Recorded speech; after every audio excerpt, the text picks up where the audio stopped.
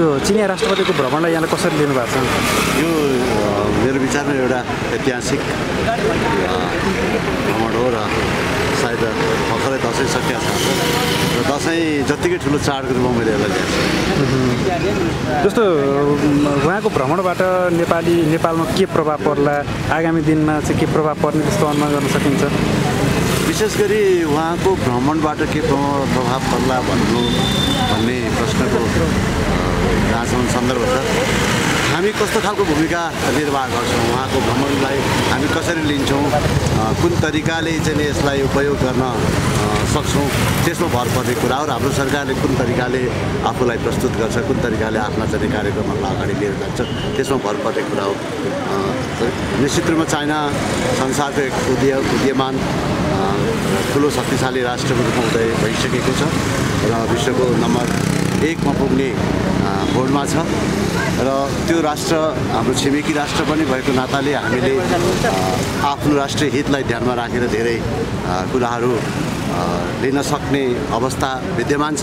तर त्यो सम्पूर्ण कुराहरू हुने या नहुने भन्ने कुरा यहाँको सरकार र सरकारकोमा बस्ने र सरकार सञ्चालन गर्नेहरूको भूमिकामा निर्भर पर्छ चिनिया राष्ट्रपतिको नेपालमा एउटा उच्चस्तरीय भ्रमण हुँदैछ। यो भ्रमणलाई यहाँले कसरी लिनु भएको छ? नेपालले चाहिँ के कस्तो अपेक्षा गर्न सक्छ चिनसँग? यो भ्रमणलाई नेपालले बहुत सकारात्मक रूपमा लिएको छ र मैले पनि त्यही रूपमा बुझेको छु। र नेपालले जो जति चिनसँग सम्झौता गर्नेवाला छ गर्दैछ नेपालको हितमा होस् र दीर्घकालमा नेपाललाई फाइदा हुने गरी गरोस् भन्ने म चाहन्छु। नेपालले कस्ता अपेक्षा गर्दा ठिक होला चिनसँग एउटा छिमेकी देश पनि हो। जस्तो कि बिआरआईको कुरा छ यी यस्ता कुराहरू जो दीर्घकालमा नेपाललाई लाभ हुने गरी नेपालको हितमा हुने गरी नेपालले सम्झौता गर्यो भने यसले नेपाललाई जो चाइनाको विकास प्रगति छ त्यसलाई नेपालमा ल्याउनको लागि र नेपालको विकासलाई प्रयोग गर्न सक्छ भन्ने मलाई लाग्छ। जस्तो यो छिमेकी मुलुकबाट धेरै लामो समयपछि उच्चस्तरीय भ्रमण भएको छ। यसको प्रभाव के होला नेपालमा आगामी दिनमा? जस्तो कि अब नेपाल शान्ति र स्थिरतातर्फ अगाडि बढ्दैछ भन्ने एउटा सन्देश पनि गयो। र नेपाल विकासको मार्गमा फड्को मार्दैछ र चाइना यसमा सहभागी हुँदा चाइना र नेपालको लागि दुवै देशको लागि हितमा छ फाइदा हुनसक्छ भन्ने चाइनाको बुझाइ हुनसक्छ। चिनिया राष्ट्रपतिको यो नेपाल भ्रमणलाई तपाईँले कसरी लिनु भएको छ कसरी हेर्नु भएको छ? त्यो विकासको क्रममा नै बाइस तेइस वर्ष पछाडि उ गर्नुभएको राष्ट्रपति त्यही भएर अब विकासको केही उन्नति प्रगति होला कि त्यही मात्रै चिनिया राष्ट्रपतिको नेपालमा भ्रमण हुँदैछ। धेरै पछि चाहिँ उच्चस्तरीय भ्रमण भएको छ नेपालमा। यो भ्रमणलाई तपाईँ कसरी लिनुहुन्छ? नेपालले के कस्तो अपेक्षा गर्न सक्छ? यो भ्रमणको बेलामा तपाईँलाई के लाग्छ? यो भ्रमण मूलत सद्भावपूर्ण नै रहनुपर्छ भन्ने मलाई लाग्छ। अहिले हामी कुनै पनि शक्ति केन्द्रसँग मात्रै ढल्केर दीर्घकालीन रूपमा त्यति राम्रो होला जस्तो मलाई लाग्दैन किनभने हामी चाहिँ भौगोलिक रूपमा पनि परिवेष्टित राष्ट्रमा छौँ त्यो चाहिँ भन्दा बाँकी। हाम्रा छिमेकी उतातिरको दक्षिणतिरको छिमेकीलाई पनि मूलत नचिड्याउने तरिकाले सद्भावपूर्ण रहनुपर्छ भन्ने चाहिँ यो हो। यसका साथसाथै नेपालले गर्ने अपेक्षा के हो भने विकसित देशहरूबाट यो देशको चाहिँ अ, सार्वभौम सत्तामाथि कुनै किसिमको खलल नपुग्ने तरिकाले यो देशको चाहिँ राष्ट्रियतामाथि कुनै किसिमको खलल नपुग्ने तरिकाले यो देशको विकास र समृद्धिका लागि सम्पन्न देशहरूसँग सहयोगको अपेक्षा राम्रो राख्नुपर्छ त्यसको लागि तपाईँको चाहिँ जो विकासका क्षेत्रमा तपाईँको चाहिँ जो यातायातसँग सम्बन्धित रहेको विकास तपाईँको चाहिँ यतातिर तपाईँको पर्यटनसँग सम्बन्धित विभिन्न विषयवस्तुहरूमा चाहिँ महत्त्वपूर्ण चाहिँ कार्ययोजना अगाडि सार्न सकिन्छ जस्तो मलाई लाग्छ। अब योभन्दा बाँकी अहिले करिब करिब पछिल्लो चरणको जो सरकारले के देखिन्छ भन्दा अलिक कम्युनिस्ट फेभरको भनेर कसै न कसैलाई चिड्याउने कसै न कसैले के देखाउनु देखिन्छ नि यो चाहिँ अलिक हल्का प्रचारबाजी जस्तो लाग्छ।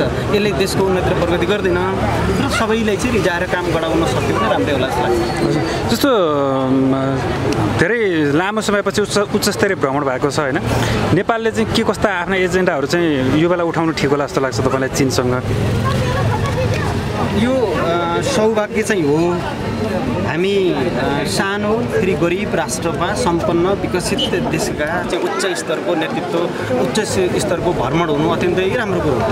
र फेरि चाहिँ यतिखेर राख्ने भनेको यो देशको सार्वभौम सत्तालाई जोगाउने महत्त्वपूर्ण पाटो हो अहिले चाहिँ। हामी लामो सङ्घर्ष लामो लडाइँ लामो त्यागपछि यो बचाइएको देश हो यो चाहिँ। चान्चुन देश होइन संसारका नौवटा झन्डामध्ये यो देशको झन्डा एउटा ठाडो झन्डा हो। विश्वमै कहिले नझुकेको।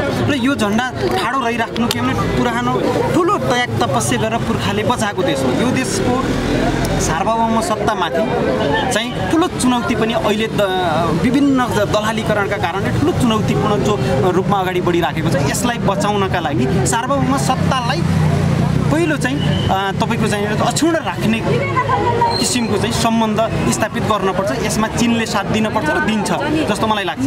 र यसो हुनाले चाहिँ अहिले पनि सत्ताले राख्ने तपाईँको चाहिने जो विकास त गर्ने होला तपाईँको होइन?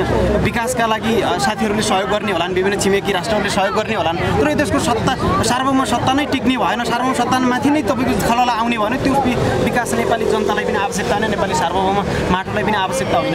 अब अहिलेको सरकारले त्यही भूमिका खेल्न पर्छ होला। जस्तो यो देशको चाहिँ सुरक्षाको भूमिका महत्त्वपूर्ण के? यो देशको चाहिँ सार्वभौम चाहिँ राष्ट्रियताको सुरक्षामा चिनले महत्त्वपूर्ण साथ दिनपर्छ।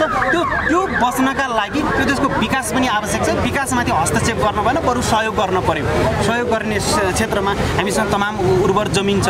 उर्वर ज तपाईँको चाहिँ महत्त्वपूर्ण जडीबुटीहरू छन्। पर्यटनको क्षेत्रमा हामी त्यस्तै उर्वर हामी क्षमता भएका मान्छे त्यो यो देशको क्षमता छ। त्यसपछि तपाईँको खनिज पनि त्यस्तै सम्भावना देखिन्छ। होइन? यी सबै क्षेत्रलाई प्रवर्धन गर्नका लागि चिनले महत्त्वपूर्ण भूमिका खेल्छ र यो कुरा नेपालको राजनीतिले कस्तो बाटो मोड्न सक्छ अथवा कसरी लिड गर्न सक्छमा निर्भर रहने जस्तो देखिन्छ।